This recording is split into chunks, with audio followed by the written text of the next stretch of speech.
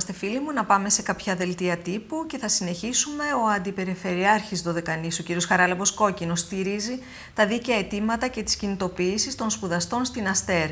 Με επιστολή του στην Υπουργό Τουρισμού ζητά άμεσες ενέργειες και αναβάθμιση των παρεχόμενων σπουδών και υλοποίηση της σπουδαστικής μέρημνας.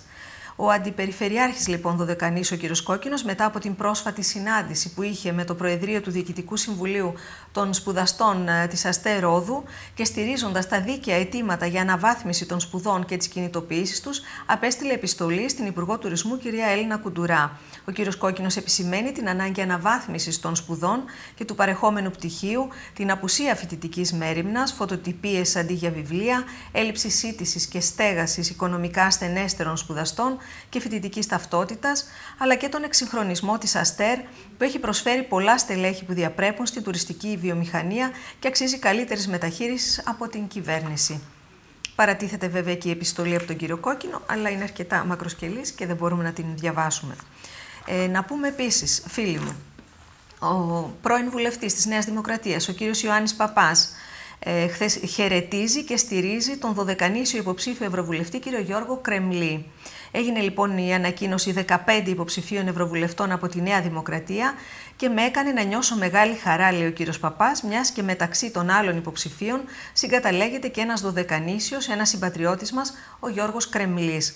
Ο Γιώργος Κρεμλής είναι ένας λαμπρός επιστήμονας με μεγάλη καταξίωση στον χώρο της νομικής επιστήμης και αυτό μεταξύ άλλων αποδεικνύεται από το ότι είναι μέλος του Διοικητικού Συμβουλίου του Ευρωπαϊκού Οργανισμού Δημοσίου Δικαίου. Σήμερα είναι διευθυντής επιτιμή της Ευρωπαϊκής Επιτροπής και υπεύθυνος θεμάτων κυκλικής οικονομίας και νησιωτικότητας. Αποτελεί μεγάλη τιμή και ευτυχή συγκυρία για εμάς τους Δωδεκανήσιους σε αυτές τις κρίσιμες και κομβικές θέσεις να βρίσκεται ένας συμπατριώτης μας. Γνωρίζω χρόνια, λέει ο κύριος Παπάς, τον Γιώργο Κρεμλή, του οποίου η πορεία και η σχέση με την Ευρωπαϊκή Επιτροπή έχει αφετηρία στις αρχές της δεκαετίας του 1980. Αυτή ακριβώς η μακρά και απόλυτα επιτυχημένη διαδρομή του στην Ευρώπη, οι αδιαμφισβήτητες γνώσεις και ικανότητές του, θεωρώ ότι τον καθιστούν τον πλέον κατάλληλο για να αντιπροσωπεύει επάξια τη χώρα μας αλλά και τα νησιά μας. Είναι εκείνος που μέσω της Ευρωβουλής έχει τις ικανότητες και τις γνώσεις να προωθήσει αλλά και να προασπίσει τα συμφέροντα της Δωδεκανήσου. Για όλους αυτούς τους λόγους χαιρετίζω την υποψηφιότητα και τον στηρίζω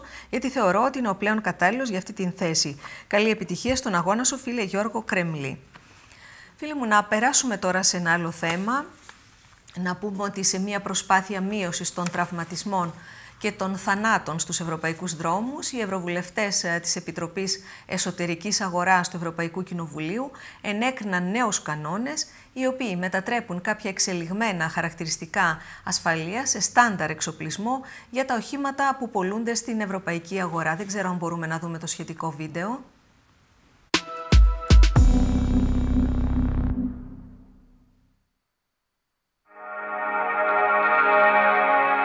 Σε μια προσπάθεια μείωσης των τραυματισμών και των θανάτων στους ευρωπαϊκούς δρόμους, οι ευρωβουλευτές της Επιτροπής Εσωτερικής Αγοράς ενέκριναν νέους κανόνες, οι οποίοι μετατρέπουν κάποια εξελιγμένα χαρακτηριστικά ασφαλείας σε βασικό εξοπλισμό για τα οχήματα που πολλούνται στην ευρωπαϊκή αγορά. I would like to remind 25,300 people, persons died on EU roads in 2017 and 135,000 were seriously injured. with this piece of legislation, when it's really uh, implemented and when it starts functioning on our European roads, we will dramatically to the positive change this situation. Για τα νέα οχήματα, αυτοκίνητα, φορτηγά και λεωφορεία, προτείνεται να έχουν υποχρεωτικά έξυπνη υποβοήθηση ταχύτητας, εξελιγμένα συστήματα πέδησης έκτακτης ανάγκης, σήματα επίγουσα στάθμευσης, συστήματα παρακολούθησης υπνηλίας και προσοχής του οδηγού, καθώς επίσης και συστήματα καταγραφής δεδομένων ατυχήματος. Τα ημιφορτηγά και τα αυτοκίνητα τύπου SUV θα πάψουν να εξαιρούνται από τις υποχρεώσεις για σειρά χαρακτηριστικών ασφαλείας που μέχρι τώρα ήταν υποχρεωτικά μόνο για τα συνηθισμένα επιβατικά αυτοκίνητα. Επίση, τα φορτηγά και τα λεωφορεία θα πρέπει να σχεδιάζονται και να κατασκευάζονται με τρόπο που θα καθιστά άμεσα ορατού στον οδηγό του ευάλωτου χρήστε των δρόμων, όπω οι ποδηλάτε και οι πεζοί. The whole issue is about making all cars equally safe. Not, this will be this will not be anymore the additional equipment that the buyer buys as a luxury product and pays hundreds of euros. This will be an um, obligatory equipment of the cars like safety belts and like airbags. And then when it's a mass production, the costs are calculated at the level of 70 or 80 euros per car, which is really rather symbolic. Τα προτινόμενα μέτρα προλυαίνουν το έδαφος και για τη χρήση αυτοματοποιημένων οχημάτων. Η εντολή για την έναρξη διαπραγματεύσεων με το Ευρωπαϊκό Συμβούλιο αναμένεται να εγκριθεί στην Ολομέλεια του Ευρωκοινοβουλίου στις αρχές Μαρτίου.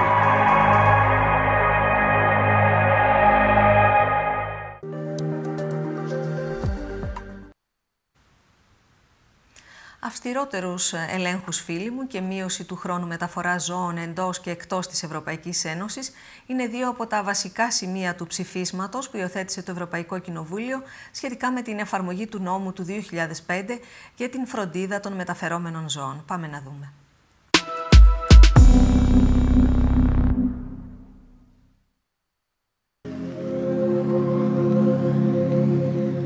Αυστηρότερους ελέγχους και μείωση του χρόνου μεταφοράς ζώων εντός και εκτός Ευρωπαϊκής Ένωσης είναι δύο από τα βασικά σημεία του ψηφίσματος που υιοθέτησε το Ευρωπαϊκό Κοινοβούλιο σχετικά με την εφαρμογή του νόμου του 2005 για τη φροντίδα των μεταφερόμενων ζώων.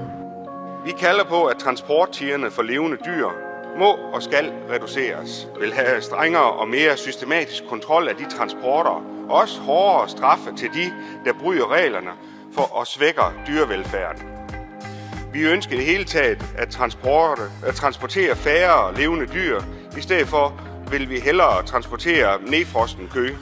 Με το ψήφισμα, που υιοθετήθηκε με 411 ψήφους υπέρ έναντι 43 κατά και 110 αποχών, το Ευρωκοινοβούλιο ζητά επίσης αυστηρότερες ποινές για τους παραβάτες, όπως κατάσχεση οχημάτων και υποχρεωτική επανεκπαίδευση προσωπικού, καλύτερη εφαρμογή των υπαρχόντων κανόνων με τη βοήθεια νέων τεχνολογιών, καθώς επίσης και κυρώσεις στα κράτη-μέλη που αδυνατούν να εφαρμόσουν τους κανόνες της Ένωσης σωστά.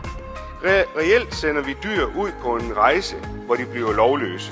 I dette hus, hvor man også ynder at lave regler om nærmest alt, er det mig lidt ubegribeligt, at eksempelvis et medlem fra EPP-gruppen går så langt at kalde det her for en overdrivelse; For der er slet ingen gældende regler for disse dyr, der ender i eksempelvis Tyrkiet og Mellemøsten. Για τη βελτίωση της επιβολής των υφιστάμενων κανόνων, προτείνονται συστήματα γεωγραφικής κατανομής για τον εντοπισμό της θέσης των ζώων και καταγραφής της διάρκειας των ταξιδιών τους, καθώς επίσης και ο καθορισμός των κατάλληλων χρόνων διαδρομής για κάθε είδος. Τέλος, η Ολομέλεια επιμένει ότι η Ένωση θα πρέπει να επιδιώξει να μετριάσει τις διαφορές στο ζήτημα της μεταφοράς από και προς τρίτες χώρες μέσω διμερών συμφωνιών ή, αν αυτό δεν είναι δυνατόν, να απαγορεύσει τη μεταφορά ζώων των ζώων στις χώρες αυτές, εκτός εάν τα πρότυπα μεταφορών ευθυγραμμιστούν με τα ευρωπαϊκά. Pasgeboren dieren dagenlang worden vervoerd, terwijl ze niet weten hoe ze de installaties moeten gebruiken. Ze dus niet kunnen drinken.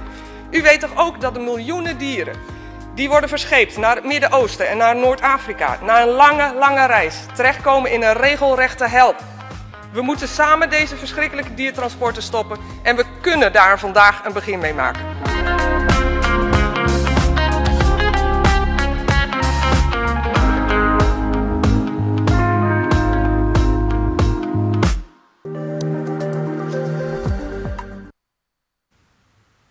Λοιπόν, δύο ανακοινώσεις πολύ γρήγορα, φίλοι μου, πριν πάμε σε διαφημίσεις. Να πούμε ότι μια πολύ όμορφη μουσική βραδιά πρόκειται να πραγματοποιηθεί στις 2 Μαρτίου, όπου θα τραγουδήσουν ο Νίκος Κούρος και η Άσπα Θεοφίλου. Θα είναι ένα αφιέρωμα στο Μάνο Λοίζο και στο Γιάννη Σπανό και θα γίνει στην Καντίνα.